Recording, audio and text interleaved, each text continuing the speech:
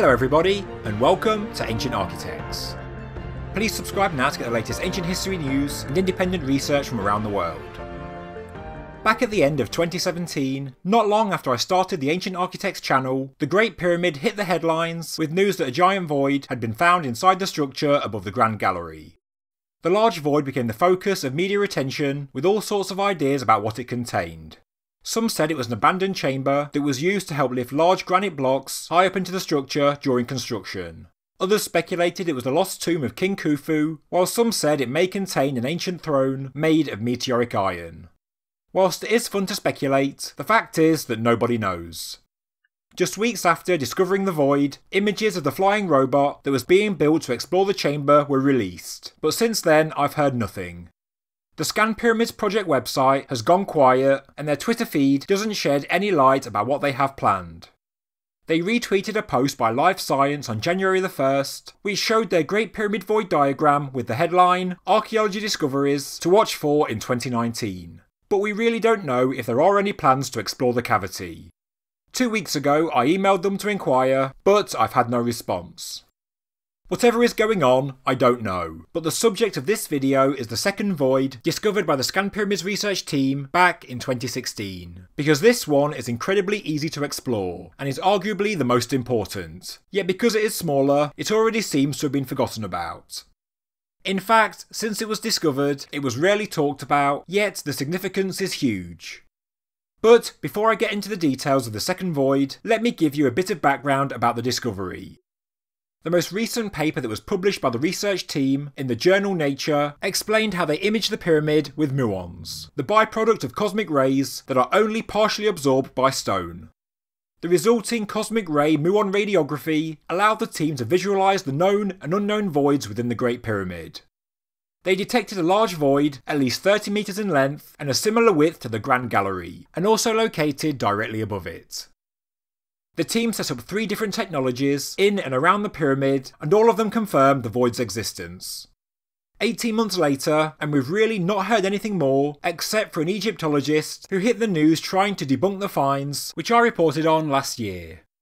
Although the large void grabbed the headlines because of its size, and was also the main focus of the journal, the other void being discovered a year before, and also being smaller, has escaped the limelight, but I believe that this not only is the key to unlocking the hidden chambers of the Great Pyramid, but is also relatively easy to access. If explored, it would rewrite the history of the last remaining ancient wonder of the world. So, what do we know? The smaller void is located directly behind the arch of the two chevron beams, which is above what is believed to be the main entrance into the Great Pyramid, that being the opening of the descending passageway. This is approximately 56 feet above the ground and east of the central north south axis. Of course, today, the descending passageway is covered over by a grate, and tourists take the so called Al Mamun entrance to access the pyramid. But behind the arch chevron blocks, the muon radiography was crystal clear, and this 3D diagram shows us exactly where the small cavity is, directly behind the arches. And really, this shouldn't be all that surprising. Have you ever looked up at the entrance of the Great Pyramid and wondered why there are these enormous stone arches high above the opening of the small descending passageway shaft? From a structural point of view, they are completely unnecessary. They are made from the same limestone used to case the pyramid, but they are too large for the roof of the descending passageway and far too high up in relation to it. What many people don't know is that these chevron blocks are not the original outer blocks of the pyramid, and by analysing the stones surrounding them, Jean Pierre Houdin and later the Scan Pyramids team noted that there are many more chevron blocks missing, which originally would have created a larger, far more grander entrance on the northern side of the structure, extending out by further 10 metres from where the chevrons currently are today. If all the chevron blocks were still in place, we can calculate that there are 6 lower and 3 upper chevrons missing, which originally would have completely covered the area where the descending passageway begins, enclosing it inside a small room or entrance chamber. According to Houdin, the once covered Great Pyramid entrance chamber, which is now open to the elements, offered two ways inside the pyramid. There was the lower entrance into the descending passageway and an upper entrance that led to a smaller chamber behind the chevrons, the same chamber recorded by the Scan Pyramids project. This led to another ascending passageway that went up into the pyramid, possibly joining up to the large void discovered in 2017. This stone shown here, known as the Strabo stone, today blocks access to the second room. The work of the Scan Pyramids project confirms work done by Jean-Pierre Houdin more than 25 years ago, where he used microgravimetric measurements which detected an anomaly beneath the north face of the pyramid in exactly the same place as the one discovered by the Scan Pyramids team, but with a different scientific technique. It was slightly to the east of the pyramid's north-south axis, and therefore aligned with the other known corridors inside the pyramid.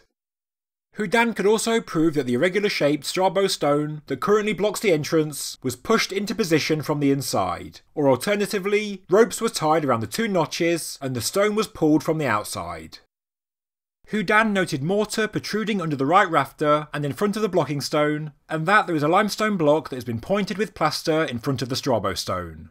This has a perfectly flat finish, and logically, all of this indicates that this must have once been an entranceway.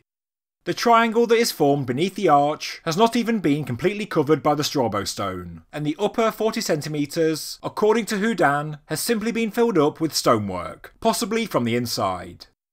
If you don't believe him, here is what the Greek geographer Strabo of the 1st century BC said about it. I quote, at a certain height, on one of its sides, there is a stone that can be removed, allowing us to see the entrance of a tortuous gallery or hypogeum, leading to the tomb. So, Houdin and now the Scan Pyramids project have concrete geophysical evidence, backed up by physical observations, that the true main entrance into the Great Pyramid is directly underneath the arch, which is exactly where you'd expect it to be. Furthermore, all you need to do to confirm this is to drill a small hole into the top 40 centimeters of the triangular section under the stone chevrons to see inside. The damage caused would be minuscule, but the potential return would be huge. Talking after the discovery of the two new chambers in the pyramid, Mehdi Tayoubi of the Scan Pyramids project said that it is likely that they are in fact connected. Clearly, what we have inside the Great Pyramid is a second set of shafts and tunnels, unexplored for millennia. Not only that, due to the opening being directly behind the chevrons, this is quite clearly the main entrance into the pyramid. So, what can we learn from all this? Houdin believes the two routes or sets of passages both lead to the King's Chamber, and, as I've discussed in an earlier video, there is likely to have been a second way into this chamber. There is a block at the bottom of the northern wall of the King's Chamber that is not load bearing, and is the same size as, or slightly larger, than the sarcophagus, and also lines up perfectly with where it is positioned, meaning that it could be how the sarcophagus actually got inside the chamber in the first place, as it is too large for the entrance used today. Let us say, for the sake of argument, that the pyramid is a tomb, and Khufu or some other pharaoh is or was once laid to rest inside. I know that many of you don't want to go there, but let's say for the sake of argument that this is true. Houdin says that Khufu's body would have been transported through the main entrance as you'd expect, the entrance identified in this video. The body would have then been transported through the unexplored internal shafts to the King's Chamber, parts of which have been identified by the Scan Pyramids project. Therefore, the shafts that we know about, namely the descending passageway, subterranean chamber, well shaft, grotto, Queen's Chamber, Grand Gallery, and so on, may all in fact be functional, more industrial parts of the pyramid, possibly used in its construction. Many, including myself, have shown how water was once present inside the pyramid, and some have shown how it was harnessed to actually build the structure. Experts have long noted the lack of hieroglyphs inside the Great Pyramid, but maybe that's because the shafts that have been explored were not created for any ceremony or pomp, but were in fact industrial or constructional. Why would you decorate industrial shafts and chambers with murals and sacred texts? Obviously you wouldn't, as there's no point. If the authorities open the main entrance and explore the new shafts, now identified by more than one scientific source, then there could be groundbreaking discoveries, possibly hieroglyphs, funerary objects, and more. But maybe the reason these chambers have not been opened is because they may reveal hard factual evidence that the Great Pyramid wasn't the tomb of King Khufu, a revelation that would have huge reverberations in the study of ancient Egypt. Whatever the true purpose of the Great Pyramid was, I believe that all the answers can be found by drilling a small hole into the masonry below the chevrons and above the Strabo stone. We don't need to build expensive flying robots and send them high up into the Grand Gallery to bore a hole into the ceiling. We just need to insert a small endoscope into the masonry in this easily accessible area on the outside of the pyramid. It's inexpensive, quick and easy. Would there really be any kind of uproar about scientists defacing the pyramid if nothing was found? I certainly doubt it, and with more bombs going off around Giza, injuring tourists as we saw just recently, I would think that a new discovery of this magnitude is exactly what the authorities need to keep people coming to the country. It's just exploratory work that's incredibly easy to do.